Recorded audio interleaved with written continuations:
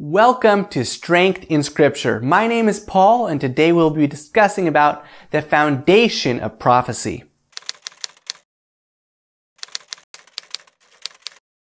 I want to talk about a single prophecy that was made several thousand years ago, but is still being fulfilled today. It predicted the future of kingdoms and empires that would reign until the end of the world. Do You know what prophecy I'm talking about? It is a dream of King Nebuchadnezzar that he had about the statue.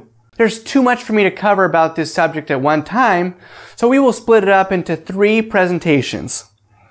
One kingdom would come to power, and it would last a few hundred years, and then that kingdom would be overthrown and followed by another. Does the rise and fall of great world empires happen by chance, or do they all form part of a great plan? If so, what will be the outcome? God answers all of these questions through His Word, the Bible. Nebuchadnezzar, the great and ambitious king of ancient Babylon, wanted to know what would happen in the future. One night, he had a dream.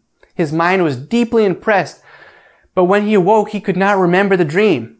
No matter how much he tried, he could not remember it. His wise men were unable to help him either. The king was so upset that he ordered them to be executed. Among the wise men at Babylon was a young man named Daniel. When he heard of the death decree and of the reason for it, Daniel begged for an extension of time so that he and his friends could pray to God to reveal to him the dream and its interpretation. This request was granted and the four young men, with strong faith in God's ability to answer them, prayed together.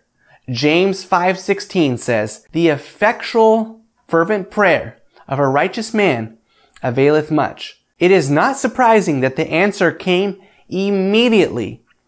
Daniel told Nebuchadnezzar what he had dreamt. In Daniel 2:31 to 35 it says, "Thou, O king, sawest and behold a great image.